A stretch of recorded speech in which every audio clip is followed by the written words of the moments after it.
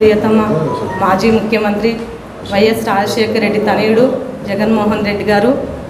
ప్రజా సంకల్ప యాత్రలో భాగంగా ప్రతి ఇంటికి గడప గడపకు ఉన్న ప్రజా సమస్యలపైన స్పందించే విధానంలో నవరత్నాలను ఆ రోజు ఎజెండాగా ప్రకటించడం జరిగింది. అదే ఎజెండాలో భాగంగా పేద ప్రజలకు ఇల్లు కట్టించే పథకాన్ని కూడా పూర్తిగా హండ్రెడ్ పర్సెంట్ జగన్మోహన్ రెడ్డి గారు కట్టుబడి ఉన్నారు. పార్టీ వైఎస్ఆర్ పార్టీ నాయకులంతా కూడా కట్టుబడి ఉన్నారు దానికి. వీరి కట్టుబడి ఉన్న విధానంలో భాగంగా త్వ- త్వరితగతిన ప్రభుత్వ పథకాలు పేద ప్రజలకు ఎక్కడ చేరుతాయనే భయంతో టీడీపీ వాళ్ళే కోర్టుకు వెళ్ళడం జరిగింది.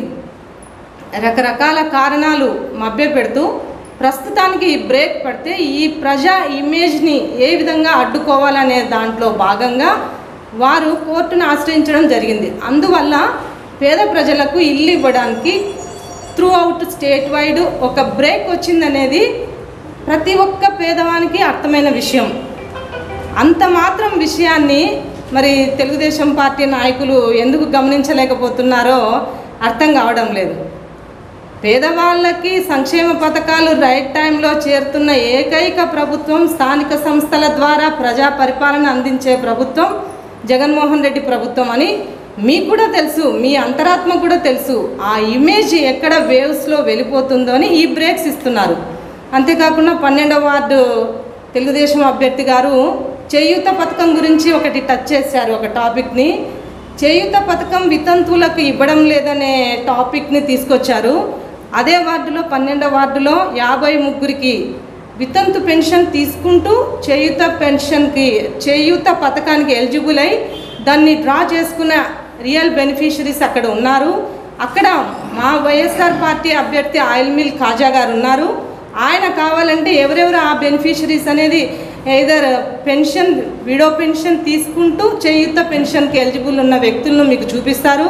వారిని చూపించిన రోజు మీరు అక్కడ విత్డ్రా కాగలరా? మా ఆయిల్ మిల్ కాజా గారిని ఇనామి ఇనానిమస్గా మీరు అనౌన్స్ చేయగలరా? మేము ఈ పథకాన్ని కరెక్ట్గా హండ్రెడ్ పర్సెంట్ తీసుకెళ్ళామని మేము ప్రూవ్ చేసుకుంటాము. మా తరఫున వైఎస్ఆర్ పార్టీ తరఫున ఆయిల్ మిల్ ఖాజా గారు అక్కడ మా అభ్యర్థిగా ఆయన ప్రూవ్ చేస్తారు. మీరేమన్నా ఈ సవాల్ని స్వీకరిస్తారా? ఒకవేళ మేము ఆ అభ్యర్థులను చూపించినట్టయితే మీరు విత్డ్రా అయిపోతారా? ఇనానిమస్గా మా అభ్యర్థికి వదులుకుంటారా? లేదా మేము ఇవ్వలేదంటే చెప్పండి మీరు చూపించండి. మా ఆయిల్ మిల్ కాజా గారు విత్డ్రా అవుతారు.